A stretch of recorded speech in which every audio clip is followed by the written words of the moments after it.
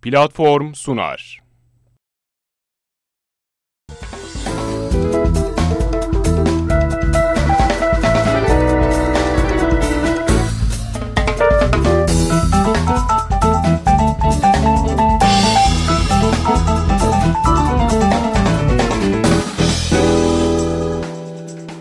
Bugün programımızda doğumunun 100. yılı münasebetiyle Kubbealtı Vakfı aracılığıyla düzenlenen Ahmet Yakuboğlu sergisini konuşmak üzere serginin hazırlanmasında değerli katkılar sunan Kubbealtı Vakfı Başkanı Sinan Ulant konuğumuz.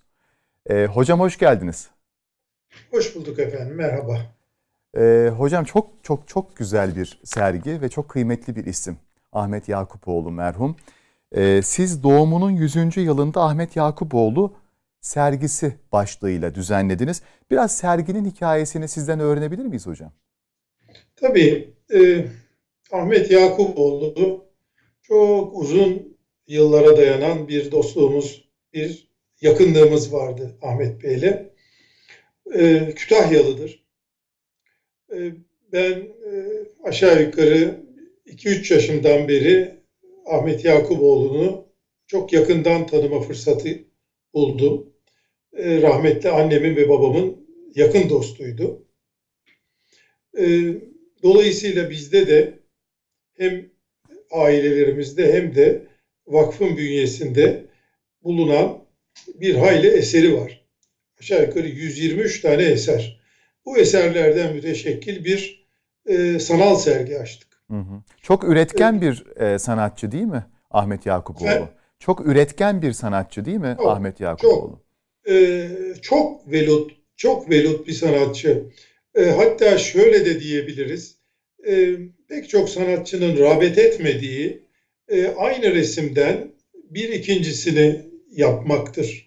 Halbuki Ahmet Bey, Ahmet abi diyeyim ben müsaade ederseniz. Ahmet abi her bir resminden onlarca yapmıştır.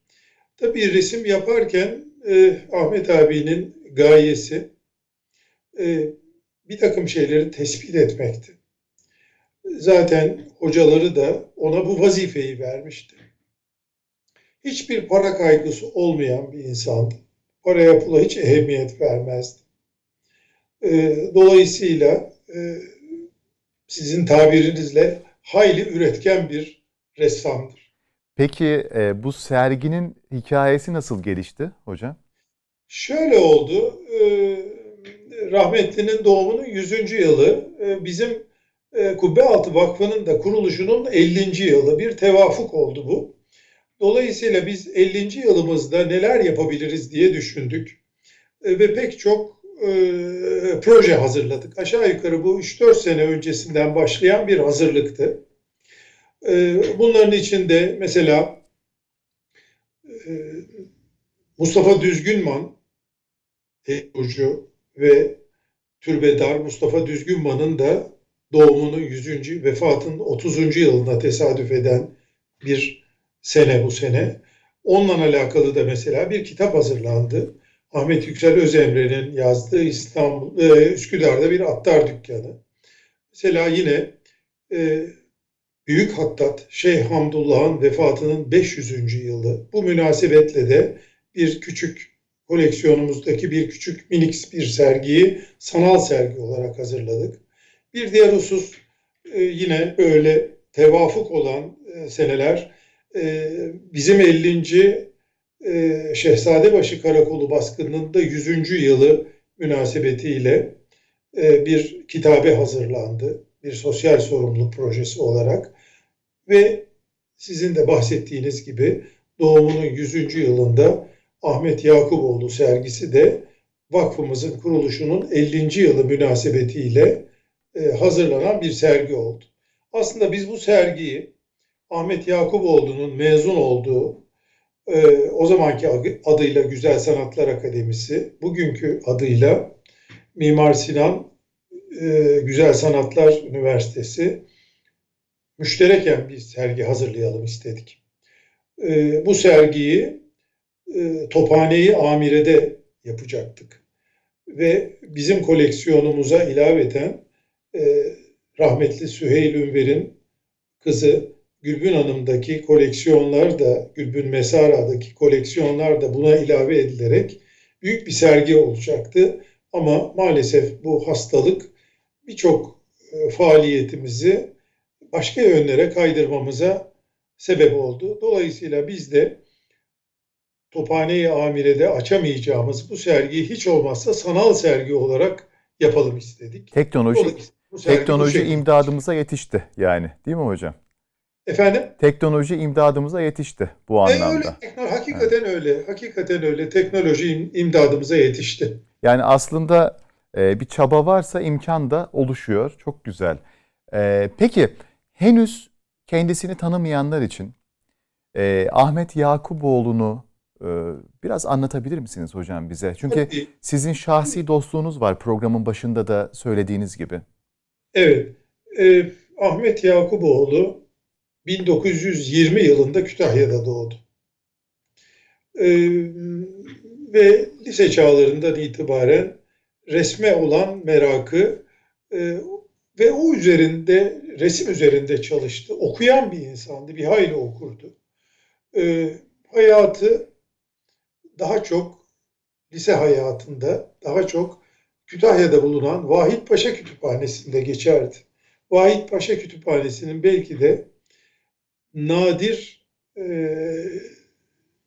ziyaretçilerinden biriydi Ahmet Yakuboğlu. Her türlü kitabı okur. Estetik üzerine okur, resim üzerine okur, tarih üzerine okur, edebiyat üzerine okur, okurdu. Zaten e, Süheyl Bey'le de, Süheyl Ünver'le de tanışması Vahit Paşa Kütüphanesi'nde oluyor. E, Süheyl Bey Kütahya'ya geliyor o tarihlerde ve Vahit Paşa Kütüphanesi'ni ziyaret ediyor. Orada Ahmet abiyi görüyor ve merak ediyor ne yapıyorsun, ne ediyorsun diye. O da resme olan merakından bahsederek yaptığı resimleri gösteriyor. Süheyl Bey çok alakalanıyor ve seni akademiye alalım diyor. Ee, Ahmet abiyi, Ahmet Yakuboğlu'nu e, valiyle görüşerek bir tahsisat çıkartıyorlar. O devirler çok zor tabii ki. Yani Kütahya gibi bir yerden kalkacaksınız 1930'lar e, sonlarına doğru İstanbul'da akademiye geleceksiniz. Ne para var, ne pul var. Bir yığın sıkıntı. E, ne yapıp yapıp Süheyl Bey Ahmet abiyi İstanbul'a getiriyor. Bir eyyam orada bir eyyam burada kalıyor derken e, Fatih medreselerinde bir oda buluyor kendine. Orada hem yatıyor kalkıyor hem de akademiye devam ediyor. Tabii Süheyl Bey hayatında çok önemli bir rolü var Ahmet abinin. Ee, Süheyl Bey daha sonra akademide onu yakın dostu Feyhaman Duran'la tanıştırıyor. Ee, akademide Feyhaman Duran atölyesinden mezun oluyor Ahmet Yakuboğlu. Ee, hayatındaki önemli ikinci isim de Feyhaman Duran'dır. Bir üçüncü isim de Neyzen Halil Dikmen'dir. Halil Dikmen de o zamanlar hem ressam hem neyzen e, aynı zamanda da müze müdürü. Dolayısıyla hem Halil Dikmen'e devam ediyor, hem Süheyl Bey'e e, devam ediyor, hem Feyhaman Duran'a devam ediyor. Dolayısıyla birçok kültür e, şeylerini onlardan öğreniyor. Edep öğreniyor, erkan öğreniyor. E, Süheyl Bey adeta onun şeyhi gibiydi. O kadar bağlıydı Süheyl Bey. Mezuniyetten sonra e, hocaları ona Kütahya'ya dönmesini tavsiye ediyorlar ve Kütahya'ya dönüyor. O zamanların yani 1940'ların Kütahya'sı bugünkü Kütahya değil. Eski eserlerin hepsi ayakta. Kıymetli evler e, ayakta. Sapasağlam duruyor. İnsanlar başka insanlar, cemiyet başka bir cemiyet. Başlıyor Kütahya'nın eserlerini, tarihi eserlerini, evlerini, karakteristik evlerini. Çünkü Kütahya bir beylik merkezi, Germiyan Beyliği'nin merkezi. bunları resmetmeye başlıyor. Adeta bir arşiv niteliğinde tespitler yapıyor. Onlarca, onlarca resim yapıyor. Belki yüzlerce, onlarca değil. Resim yapıyor. Bu arada Kütahya'nın karakteristik tiplerinin portrelerini de yapmaya başlıyor. Bunlar Kütahya'daki mesela Mevlevi dergahının şeyhinden tutun da esnaflara ve arkadaşlarına, dostlarına kadar portreler yapıyor. Ee, belli bir zaman geçtikten sonra İstanbul'a da geliyor. Ama Ahmet abi tabii serazat yaşayan bir insandı. Evli değildi. Yalnız başınaydı. Ee, ablasıyla beraber kalır. Ee, eski bir Kütahya evinde, doğduğu evde. E ben bir İstanbul'a gidiyorum der. Ama ne kadar kalır? Üç günlüğüne mi gider, beş günlüğüne mi gider, bir sene mi kalır böyle.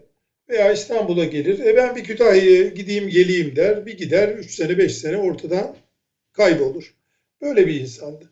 Geldiğinde daha çok, İstanbul'a geldiğinde daha çok Süheyl Bey'in evinde kalırdı. Zaman zaman bizim evimizde de kaldığı olurdu. Ama ağırlıklı Süheyl Bey'in evinde kalırdı. Ee, bizim aileyle tanışması e, benim dedem, büyük dedem Ekrem Hakkı Ayverdi'nin küçük oğlu resme kabiliyeti var.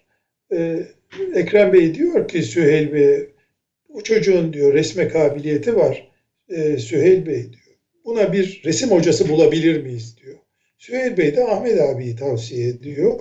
Dolayısıyla Ahmet abiyle tanışmamız, ailenin tanışması 1940'lı yıllara kadar gidiyor. Ee, Ahmet abi e, akademi mezunu demiştim. Annem de e, akademinin tesip bölümündeydi. O misafir talebi olarak giderdi. Onun da ilk hocası e, Turakeş İsmail Hakkı Bey, daha sonra Süheyl Bey. Dolayısıyla böyle bir yakınlıkta doğuyor.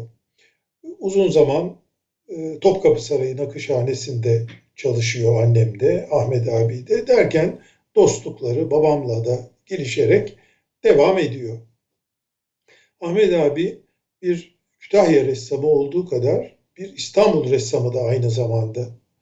İstanbul'un çok kıymetli eserlerini, özellikle Boğaz'ın her iki yakasını, e, camilerini, yalılarını, o zamanın korularını, türbelerini bunları ihya ediyor. Bunları tespit ediyor. Yağlı boya resimlerini yapıyor. Ee, tabii Kütahya ve İstanbul'un dışında da Ahmet abi mesela Konya'da çok resim yapıyor. Ee, Amasya'da, İskenderun'da e, pek çok yerde e, gittiği her yerde resimler İzmir'de resimler yapıyor. Ve bu resimler adeta bir e, arşiv niteliği taşıyor. E, yağlı boyaların yanında Ahmet abi ciddi bir kara kalem ressamıydı da. Fevkalade güzel kara kalemleri vardır. Bunun dışında sulu boyaları vardır. Tükenmez kalemle resimler yapmıştır. Tükenmez kalemle portreler yapmıştır. Yani tükenmez kalemin tasfiyi mümkün değildir. Dolayısıyla e, çok kabiliyeti olan bir ressamdır.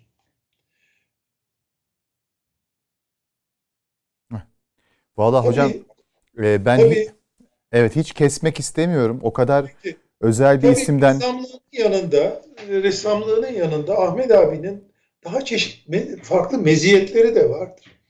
Ahmet abi bir kere e, derviş meşrep bir insandı. Çok çok derviş meşrep bir insandı. E, Halil Dikmen'den ne üflemesini öğreniyor. Güzel ne üflerdi. Şahneyi vardı. Kütahya'ya dönüyor. Kütahya'da tek tük neyzen var yok ama hemen etrafına insanları topluyor. Başlıyor onlara ne üflemesini öğretiyor. Kütahya bir müddet sonra neyzenler diyarı oluyor. O kadar çok neyzen yetiştiriyor ki. Ha bundan da e, kafi gelmiyor. Rebap öğretiyor. tambur öğretiyor. Ve bu insanlara evinde musiki meşk ediyor. Klasikleri, Dede Efendi'yi, Itri'yi, Zaharya'yı, 3. Selim'i, Sadullah. Dolayısıyla Kütahya aynı zamanda bir musiki diyarı oluyor. Ama klasik musiki. E, musikinin yanında Ahmet abinin bir farklı tarafı da minyatür çalışmasıydı. E, İstanbul'da öğrendiği tekniklerle bugün belki klasik minyatür minyatüristlerin yaptığı minyatür gibi değil belki ama biraz daha kaba diyebiliriz. Ama yine de özellikle Levni'nin eserlerini bir hayli çalışıyor. Bir başka vasfı e, çevreci bir insandı. E, Kütahya'nın Murat Dağı'nı yeşillendirmiştir. Murat Dağı'nı, koca bir dağı, çam ormanı haline getirmiştir. E, hayatının uzun zaman geçtiği e, Çamlıca'daki, e, özür dilerim Maltepe'deki evini, e, etrafını, o dağı orayı da yeşillendirmiştir. E, Ahmet e, Yakuboğlu'nun çevreciliği derken bir hususu daha zikretmek istiyorum. Lütfen. E, Ahmet Yakuboğlu Kütahya'da pek çok türbenin ihyasını yapmıştır. İhya etmiştir pek çok türbeyi. E, Ana Sultan gibi, efendim Gaybi e, gibi türbeleri kendi imkanlarıyla, kendi parasıyla ihya etmiştir, restore etmiştir. Maltepe Mahallesi'nde, e, Maltepe Mahallesi Kütahya'nın yüksek bir yeridir, tepesidir. Oraya bir ev inşa etti. E, bu Osmanlı tarzı bir evdi. E, karnıyarık tabir edilen bir ev. Tek katlı, altında bir yarı bodrum bir e, katı var. Bu katı e, böyle yarı depo gibi vesaire gibi kullanır ama esas birinci kata girdiğiniz zaman kocaman bir salon. iki katlı bir salon. E, iki e, ayrı mertebesi var. Ortada bir geniş kısım. E, bu kısımda bir selsebil vardır. Ondan bir basamaktan çıkılır. Solda bütün Kütahya'ya hakim salon. E, şahnişli. E, sağında ise iki basamaktan çıkılan biraz daha yüksekçe bir kısım. Bundan murat orada e, Moski şinaslar toplanır. Neyzenler, rebabiler, işte tamburiler vesaireler. Arka tarafta ise, alt tarafta ise dinleyiciler olur. E, ortadaki selsebil hem suyun sesiyle bir şey verir hem de neyzenler neylerini üflemeye başlamadan önce orada ıslatırlar. Suyla ıslatırlar. E, duvarları ise e, küçük küçük minik dolapçıklar vardır. Bu dolapçıklarda e, antika eşyalar, Kütahya'ya ait çiniler, Kütahya'ya ait eşyalar, Üstlerinde böyle bir küçük raf dolaşır. O rafta onlarca resim. Pencereler giyotin pencere. Etrafında e, her iki salonun etrafında da e, sedirler misafirler için. Koltuk kanepe yok. Sadece sedir. Her taraf halı döşeli. Böyle bir ev. E, yatak odası tarafından yukarıya bir küçük merdivenle Ahmet abinin atölyesine çıkılır. O atölyede Ahmet abi resim yapar. Böyle çok büyük bir atölye değil ama aşağı yukarı işte 25-30 metrekarelik bir yer. O da tabii bütün Kütahya'ya hakim bir manzara içinde. Ee, büyük bir bahçesi vardı bu e, bu binanın, bu bu yapının. Bu e, bu bahçenin üstünde de yukarıda da Türkistan tarzı bir cami inşa etti Ahmet abi.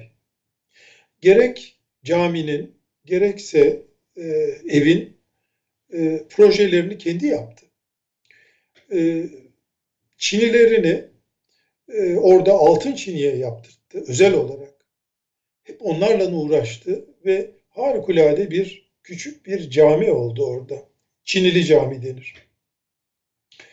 E, Bu eve o kadar çok misafir geldi ki Vehbi Koç'tan tutun Fransız televizyoncularına yani Kütahya'ya gelen insanlar Ahmet abiyi behemahal görürlerdi, ziyaret ederlerdi. Bunların içinde resmi zevat da dahil olmak üzere. O zamanlarda, o devirlerde e, yani benim söylediğim 1960'lı, 70'li hatta 80'li devirlere kadar Ahmet abi eğer Kütahya'da çarşıya falan indiyse insanlar ceketlerinin önünü ilikler, ona hürmetle saygı gösterirlerdi. Buna e, validen belediye reisine kadar dahil böyle saygı görürdü. Ama mahfi bir insandı. Yani hiç kendini öne çıkartmayı sevmeyen, reklamı sevmeyen, e, hedefi sadece hizmet olan, Allah rızası için hizmet olan bir insandı. Yaptığı resimlerin çoğunu parayla satmadı zaten. Ona buna hep dağıttı verdi. Ancak son zamanlarda etrafında bir takım insanlar yani tabirimi mazur görün belki ama Ahmet abiyi kullandılar. Bu yaklaşık belki son e, 15-20 senesinde oldu. E, Kütahya içinden, Kütahya dışından aslında Kütahyalı Ahmet abiye çok hizmet etti. Ahmet abi de Kütahya'ya çok hizmet etti. Biz galiba 80'li seneler veya 90'lı seneler olacak tam hatırlamıyorum. Bir gün e, Kütahya'ya gitmiştik ailece. Yine Ahmet abinin evindeyiz. İçeride mutfaktan tıngırtılar gelmeye başladı. Ama bir baktık e, mutfakta biri bulaşık yıkıyor. Bir hanım bulaşık yıkıyor ama derli toplu, kibar hanımefendi biri. Yani belli ki Kütahyalı da değil yani kılığından, kıyafetinden. Sorduk, tanıştık. Kütahya'da bir hava tugayı vardı. Tugay komutanının hanımı. Ahmet abinin evinde bulaşık yıkıyordu. Ben gözümle gördüm. Zaman zaman yukarıdan köylüler gelir, e, mutfak kapısını açarlar. İçeriye gözleme bırakırlar faraza. E, Ahmet abi yalnız yaşayan bir insandı. Yani hem Kütahyalı ona sahip çıktı, hem Kütahya ona sahip çıktı. Ahmet abinin bir diğer hususiyeti de etrafına topladığı talebeleri her yaştan, hanım olsun, bey olsun, çocuk olsun, yaşlı olsun, onlara resmi öğretti, musikiyi öğretti, edep erkan öğretti, Kütahya'yı öğretti. Onlara pek çok şey verdi Ahmet abi. Dolayısıyla Ahmet abi e, yaptıklarıyla, kurduklarıyla, yaşattıklarıyla Kütahya'ya mal oldu. E, Kütahyalı da ona pek çok şey vermiştir doğrusu. Bir vakıf kurdu. O vakfı doğru dürüst yürütemediler maalesef. Çünkü vakıf kurmak kolay da vakfı yürütmek bir hayli zor bir iş.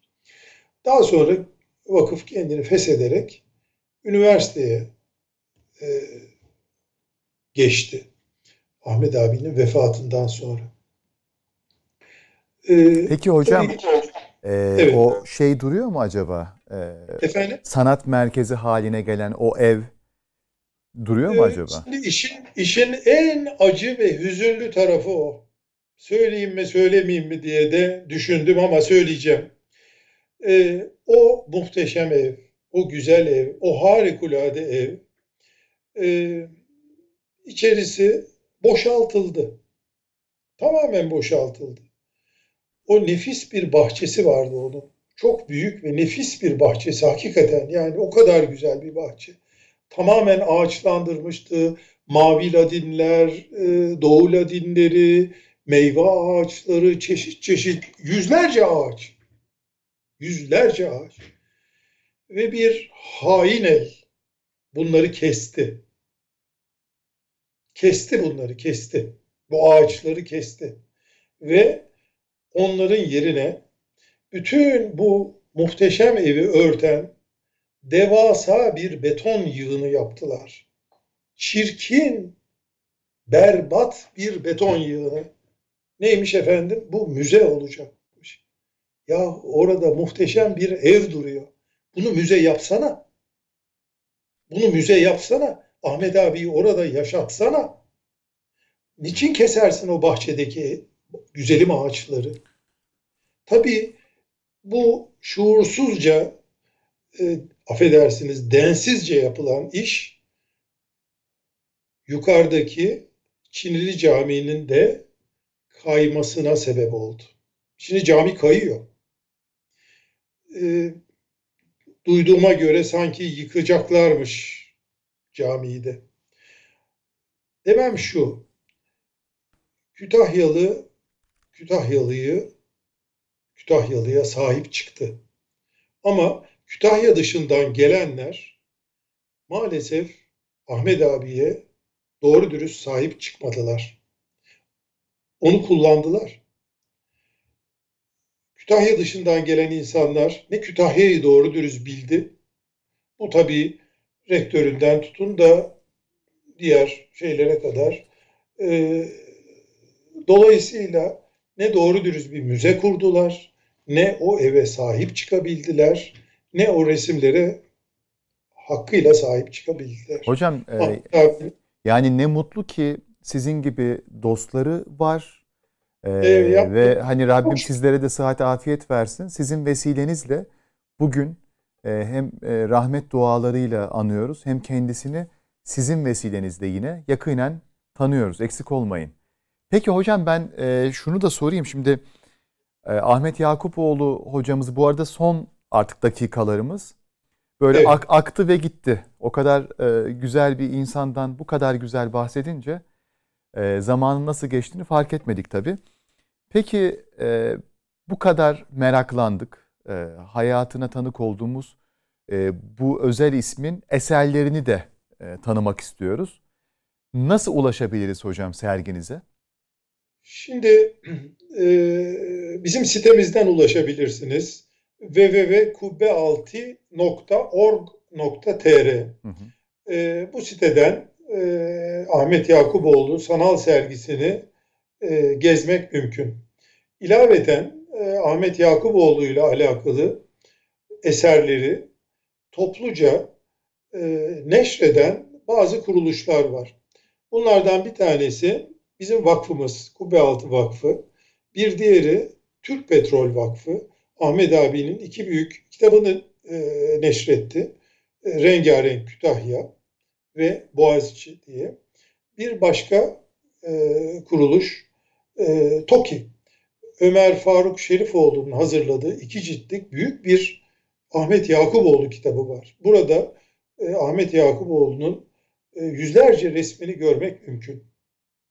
Ayrıca e, Kütahya'da e, bildiğim kadarıyla Hava Tugayı'nda bir e, küçük müze gibi bir yer var. Orada Ahmet Yakuboğlu'nun resimleri çok iyi kondisyonla e, sergileniyor.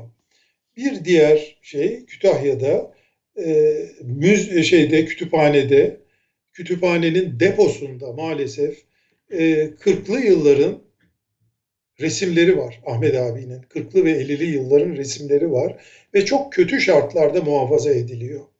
Bu resimlerin ihya edilmesi lazım.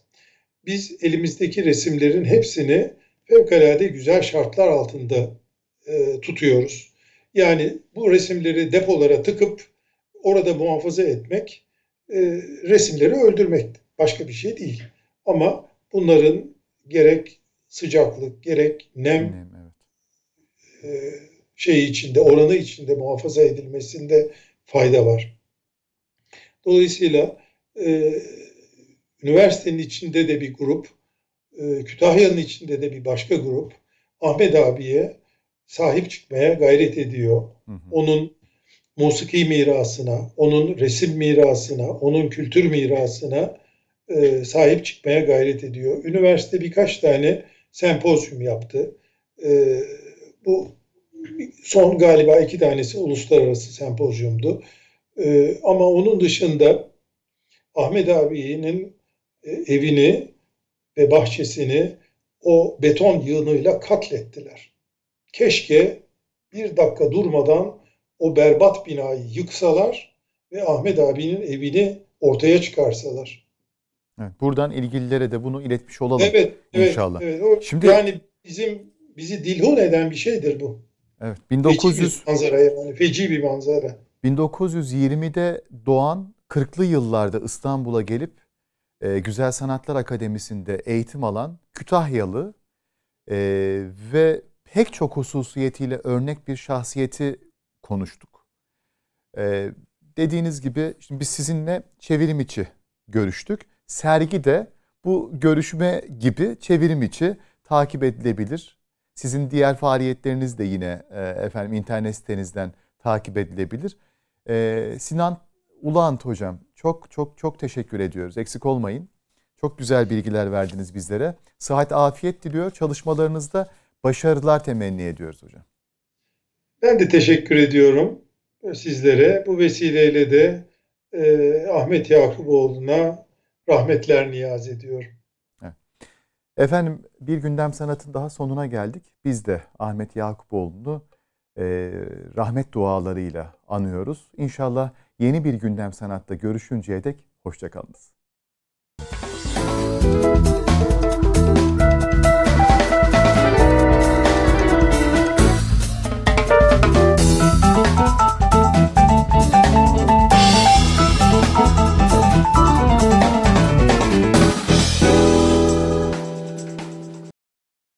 Platform sundu.